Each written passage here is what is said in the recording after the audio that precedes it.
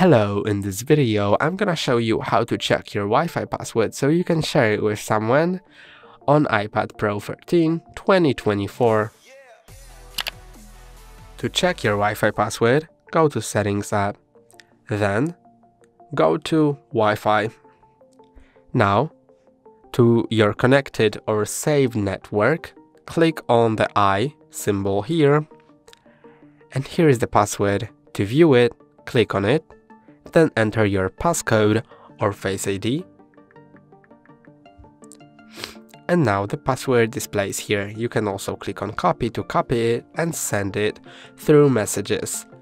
That's all for today, don't forget to like and subscribe, see you next time.